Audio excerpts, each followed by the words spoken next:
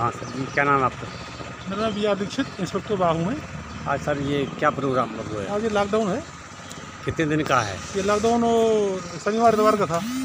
जी sir. और सुबह पाँच बजे तक का है।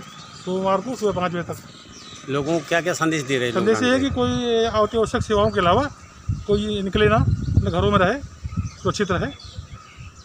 कितने कितनी के बजे तक है? ये सुबह पाँच बजे तक है शासन के अनुसार। वो इस- इसका कड़ी से कड़ाई से पालन किया जा रहा है नहीं आप देख रहे हैं पूरी रोड सन्नाटी है सख्ती से पालन हो रहा है। जी सर।